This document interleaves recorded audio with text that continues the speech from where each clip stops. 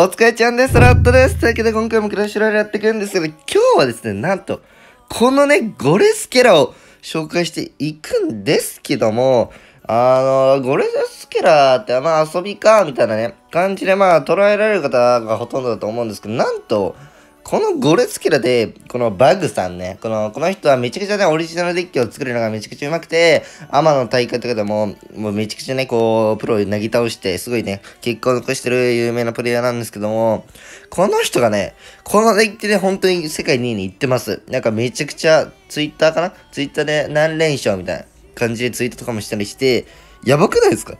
ゴレスキラで世界2位を取れる時代が、来ちゃったというか、まあ、この人がね、おかしいだけだと思うんですけど、まあ、というわけでですよ、えー、やっていきたいなと思います。なんか、ゴレスケラー使ってた方、多分最近とかだとね、特に少ないじゃないかなと思うんですけども、昔、結構昔ですね。本当2年ぐらい、2年3年ぐらいまでまでは、こう、まあ、ジェイスケラとかゴレスケラとか、なんかラバスケラとか、意外とね、そういった感じの、なんか大型プラスのスケラデッキって結構いたんですよ。そう、なので、僕はそんな珍しいと思ってないですし、逆に僕も、あのー、初手ゴレで草ってなるんですけど、あの、ゴレスケラ、こう、形は違えど、大砲、アーチャー、メガコの中で、ポイズアップみたいなゴレスケラとかも、えー、使ってたね、時代はね、昔はありましたね。さあ、というわけで、相手これ、クロッちゃんこれは？あ、遅延ですな。アイス、んコウモリコウモリお前頑張れ頑張れ。さあ、これ？アイスエズさ、あ、待って待って待って待って。買ってくれ？なんなら。なんなら買ってくれ？しかも、相手からやって、あのー、遅延テスラクロスロケットですよね。さあ、初手これがいい感じに大活躍をしていき、これは、さては、相手が諦めさせてありますね。しかも、あの、環境の、まあ、スケドラは環境ですし、まあ、ダクネもポイズン咲かせるっていうのはわかるんですけど、ゴブ小屋がね、入ってるんですよね、謎の。謎のゴブリンの小屋。えー、どっから来たんだ、ベイビーって感じですよね、これは。ですが、まあ、ほんとポイズン枯渇ですよね、こんなん。ポイズン枯渇して、あのー、まあ、ゴレがたけってる時にスケラだと思うんですけど、あと謎のヒースピ。本当に謎のヒースピ。なんかね、すごい偏ってる陸球追士みたいな、プリンスどうすんのみたいなデッキですけども、まあ、世界2位に行けるということで、えー、トロがね、僕もついでに上がっていく、ありがたいデッキをね、拾いましたと。さあさあさあ、どんどんやっていきましょうかね。ゴレスケラ、ジャイスケラ、ラバスケラ、他なんかあったかな？他はねまあ、今でもメガナイトスケラとか結構有名ですし、なんならペッカスケラとかもまあちょいちょいいますし、なんかあった、結構いますよね。普通に、普通にスケルトンラッシュって高回転でスケラメインでもいけますし、大型の縦プラスのスケラもいけますし、結構万能かつ強いね、カードではありますね。僕はすごい愛用してますね。なんか、なんだろうね。まあ、ランダム要素があるのはあんま良くないことかもしれないんですけど、まあ、だからこそダメージ与えやすいみたいなところも、まあ、いい部分ではあるんじゃないかなと思います。さあ、とりあえずゴブリンの声は置いていきたいんですけども、多分ですが、このデッキは、後半になればなるほど絶対強いじゃないですか、こんなの。なので、相手が動いてこなかった場合に、動く必要はない説がね、ありますよね、これ。相手が動いてこないので、待って、あの、まあ、1分入るぐらい前に小屋を置いてからのケツゴレドーン、ダクにつけてスケルラッシュンからのワンパン。消えた、来た。もう俺のこの勝ちボターン見えましたね、これ。とか言って、相手もあの同じ実機みたいなね、ことはすごいありそう。多分ね、絶対いますよ。絶対いますね。世界2位にこんなデッキで行く人がいたら、え？俺でも使えそうじゃんってなるっすもん。だかめちゃくちゃね、高回転のすごいデッキとかだと、いやー、これは無理だなってなるんですけど、なんかこういうね、しかも大型だと、特にね、あれ？俺でも使えるなって。みんな多分使う、っていうか今使ってる最中だと思うんで、あの、ミラー対決がね、よくありそうな、えー、展開 でございます。ヒースピーをね、こう、スケドラとかゴレの後ろの濁念とかにね、いい感じに回復させると、ちょっとね、でかいかもしれないですね。さあ、というわけで、そろそろですね、そろそろ小屋を置いて、ゴール展開からの、うーんと行きたいが、ゴブゴを1個下にするか上にするか悩みましたが、さあ、スケルトン部隊。最近ゴレンにスケルトン部隊入りは多いですが、あー、いてえよ。いねえよ。いてえよ。いてえが、そんなのもうどうでもいい。よし。バレるだけだったら無視します。スケルトン部隊吹き矢ダクネ。なんだなんだなんだなんだ？君のデッキはなんだ一体？ゴレなのか、それで。それでゴレだったのか、君は。わかりにくいよ、非常に。非常にわかりにくい。さあ、スケドラも出しちゃおう。うん、これファルチェのやつやん。うん、だと思った。うん、だと思った、俺も。ファルチェ入りのなんかこんなデッキ使ってる人知ってる？やば、いてえよ。いてえよ。ポイズンでどっか行け。で、あとガゴムレとかもあるんですよね。多分僕、あ、待って、これさてやばい。さてやばい。さてやばいっすね、マジ。小屋置いて、で、おーやべ、待って待って待って。ファルチずるくない？お前、このデッキファルチどうすんの？ちょっとちょっと教えて。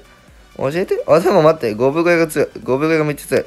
さあ、ヤリゴブリンが縦に並ぶ、ヤリゴブ7体行列、ふいさあ、これは、こっから大逆転がありますよ、マジで。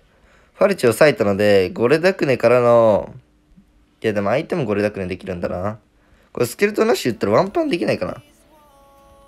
うーん。いや、すげえ、やだ。なんかやだ。うーん。これ、あー、待って待って待って待って待って。これポイズン打ったら、あ、え？ちょっと待って、ちょっと待って、ちょっと待って、待って。ゴンメタやんけ。ちょっと待って。え？そんなことある？このデッキのメタ？みたいなデッキ来る？普通。そんなバカな。でもこの人ね、多分ずっとこのデッキ使ってる人だと思うんですよ。なんかガゴムレが入ってると思うんですよ。と。入ってなかったかな。てか、ファルチェ。ファルチェきっつい。なんだこれ。ファルチェきっつい。ファルチェきっつい。ゴレ溶かして。やばい。ゴレ溶かして。やばいやばいやばい。やばいやばい。やばいやばいやばいやばい。さっきすごい楽に勝てたのに、今回一個も勝てないじゃん。なんで？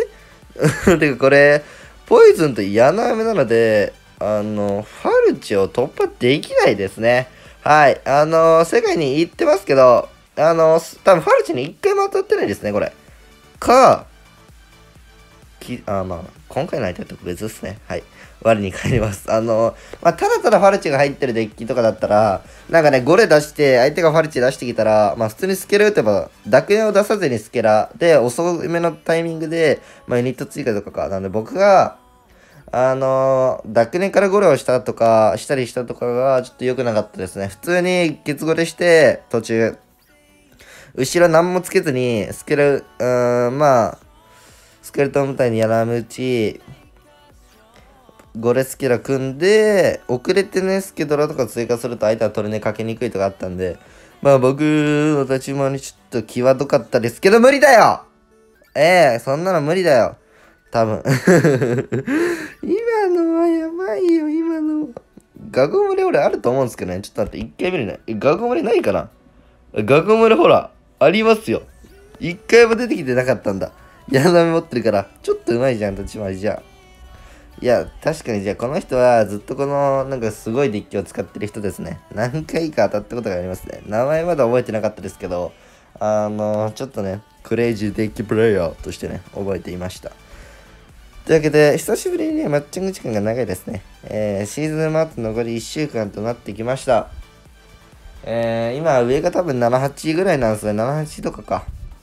はい、なので、あと1週間あったら、うん、まあ、400上がるとして、8200、最終日トップが8200、8300ぐらいですね。いや、1週間もねえな。あともう5日ぐらい。5日 ?6 日ぐらいしかない。舐めてた。まあでもそんな感じなので、ちょっとね、トラゲの方も頑張っていかには上になると思います。で、今期はもうこっちのアカウントしか、えー、トラゲはね、えーしてないんで、ラッティン赤の方はお休みでございます。なんか今、三重視の環境がめっちゃいいらしいんですよね。三重視の環境が良くて、あとは2.65も環境いいみたいに言ってて、まあ僕は26さすがに無理なので、あんな難しいデッキね。なので、まあ3子で今季はトラ上げしようかな。マジで。結構いい環境が来てるみたいですしね。なので、非常にチャンス。まあロイジャイとかでもいいですけどね。なんか環境の。まあなんか使ってね、トラ上げれたら。いいかなと思います。さすがにこれゴルスケラは最後の最後の日にはいないと思うんですけどね。これどうします？あの、初手ゴレしたいですね。マジで。マジで初手ゴレしたい。てか、これ、ゴレ出した後に、ダクネ出せれないの結構やばいっすよね。なんも置けないっすよ。さあ、ロイホグ3子かな多分。まあまあ、本当に。というわけで、とりあえずね、ゴレ出します。とりあえずゴレ出せばいいって聞いたんで、このデッキ。で、あれに、これにスキラ打って、綺麗に守られて負けるとかですかね。わかんない。これどうすればいいんだ？攻めるのよくないのか？一旦五分小屋？一旦五分小屋で、うん。やばすっげえ1時30時出すな。まあまあまあ、一旦ね。これでも3時ともきついっすよね、なんか。まあまあまあまあ。さあ、ゴレの小型パンチが入っていくで、ロイホグ来たのを、まあ、ザクネで受けて、さあ、いけやり。いけいけいけいけいけいけさあさあさあ。からの、暇になんなこれ。すげえ暇になんな。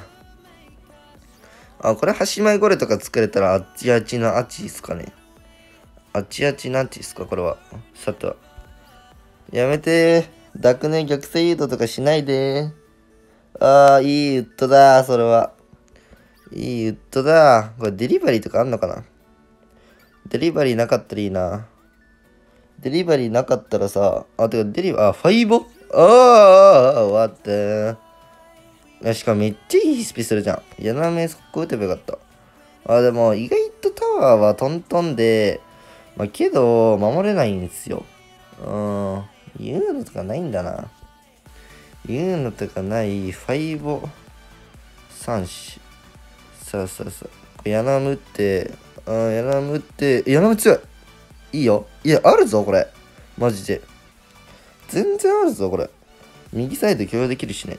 やばどんな戦い方してんの、こいつ。あの、引くっすね、さすがに。さすがに引いちゃい、引いちゃいそうっすね。お何をどう警戒したら当たるんだで、問題は僕のダクネもスケドラも5で飛んじゃうんですよ。5ウッドがあるのが、ちょっと30種の5ウッドはちょっとせこいですね、なんか。さあ、上からぶん殴りぶん殴りゲーミングをするが、なかなか突破できない。いやーやっぱ三種きついっすね。え、なんでこれで世界に行けんの？やばくない？やばくない？だって、あの、まじ、あんま言いたくないですけど、この意味わかんない30種にも勝てないじゃないですか。え？マジ？これで世界にはね、あの、すごいっす。ええー、これでね、世界に逆って結構やばいっすね。全然勝てないですもん。初めのあの、クロスに初手ゴレで勝てただけで、今2連敗してますからね。ちょっと、ここでね、ここで勝って本当にこの力強いデスアピールしてるんですよ。ちょっとみんなもね、使ってみてください、これ。全然勝てないですよ。全然勝てない。さあ、スケドラで一旦ボスギ壊して、さあ、メガゴー、ラーバですね。来たラーバ。ラーバにはね、相性が気持ちよさそうなんですけどね。さあ、そろそろ、Y のゴーレスケラが火を吹くぜちょっと、今負けてね、2連敗してちょっと悔しいので、勝っていきたいですが、まあ、勝っていきたいんですけども、あの、うーん、これね、まあ、一旦左側行きますか。一旦左側行って、相手の後衛をスケドラどうにか回してスケドラで処理するか、おー、いやん。いいやん。え、え、待って、これさてはさ、5打たれて、終わった、メイン、終わったゲーミング所属になんないかな、これ。まあまあまあまあ。左ヒースピードもつけといて、グッドゲーム言われた。やばい。5打つな。5俺に打つな。オッケー。5俺に打たないなら許す。おって、見て。これさ、こういうことっすよね。だから。なんなら？なんなら？でも、バーバリアンがすごい邪魔。うーん、全然入んねえ。あ、言うておあんちゃなんとも言えませんね。なんとも言えないよ。ちょっと待てよ。3連敗だけは良くねえぞ。阻止するぞ、俺は。さあ、で、バルーン飛ばされるだけすごいしんどいんですよね。で、右サイド、そうっすね。やっぱ、防衛から入っていきたい。で、うーん、ここでバルーン飛んできましたね。さあ、飛んでくると僕として非常に困る。さあ、頑張れ。防衛しろ。あの、体育薄いぞ。本当にこれで世界に行けるのか。うん、怪しいぞ。いや、でも守れる。うーん、で、一回これ全部捨てて、バルーン来たので、ここでもう相手はバルーンがないので、いいいいゴール展開いいゴール展開だよしよしよしよし。さあ、流れとしては完全僕ですね。完全僕で、高めバーバリアンがすごい嫌だ。うん、すごい嫌だけど、どうにもできない。で、気持ちヒースピでゴレを回復してあげる。ゴレ？あ、槍ゴブリンいい、いいつつき。これポイズン打っちゃって、あ、でもスケドラいいのか。このポイズン良くないですね。さあ、学び学び。一回ね、一回落ち着いていきましょうか。相手がね、大型スペル打ってこないんですよ、なかなか。相手が大型スペル打ってこないのも、ちょっとね。よし、これ。絶対小屋に巻き込まれると思った。危ねえ。え、これだってさ、もうバルーン咲いた。来た買ってくれ？これゴレからの、ダクネからのスケラからのポイズン用のヒースペフラキからの真ん中スケたら。あー、それは嫌だ。本当にそれ嫌だ。これであのバルーンつけてくるのマジで嫌だ。やだやだやだやだ。本当にやばい。本当にやばい。で、ファイブを打って俺のゴレ美味しくいただかれる？あ、でもやらめうん、反応早い。反応早いのね。あ、でもこれ、見て見て。ダクネも、ダクネも合流しちゃって。ダクネも合流しちゃって、なんなら追加しちゃって、ヒースピからの、実は左サイド落ちるみたいなのないかな。うーん、微妙なところではございますが、いや、絶対手苦しい、これ。やらめむって、来た来た来た来たへいへいへいへい。まあ、スケラが刺さったというよりかは、まあ、ダクネが刺さりましたの。うん、うん、うん、うん、まあまあまあまあ、勝ったね。勝ったんで、勝ったんでいいのよ。というわけで、ちょっと、本当に強いの？これ。ね。30子とゴレファルチュに負けちゃったんですけど、まあ、強いみたいですね、多分。いや、マジで世界には本当にすごいと思います。なので、一回皆さんもぜひ使ってみてくださいね。なんか本当に、そんなデッキさすがに弱いでしょっていうようなデッキじゃないですか、見た目。けど、上がるんですよね、やっぱ。